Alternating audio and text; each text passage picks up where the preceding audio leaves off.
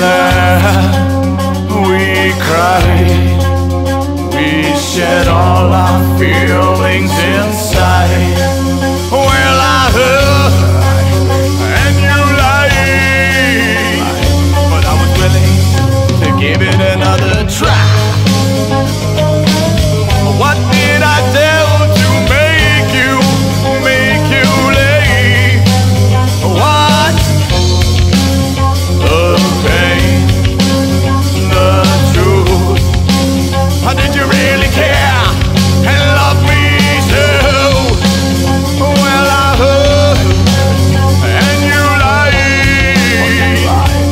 was willing to give it another try.